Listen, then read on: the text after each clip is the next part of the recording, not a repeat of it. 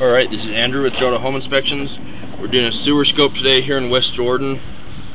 We're at uh, 6767 Minos Place.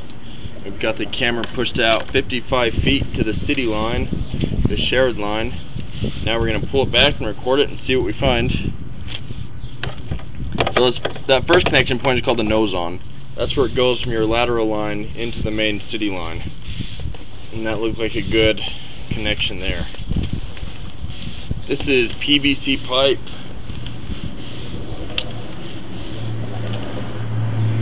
This is what they use on most new construction steel. This is a pretty short line. Average length of a sewer line that I see is around 100 feet. So that's good in a lot of ways. That it's shorter, uh, less less of a line to have issues with.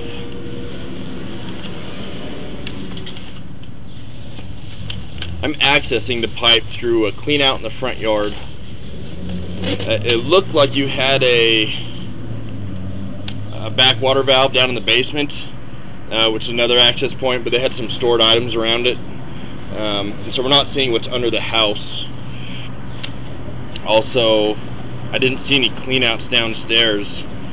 Could be behind furniture, but a lot of times they get covered up with drywall, um, which make it so that you can't access them because you don't know where they are. So I'm going to end this recording now.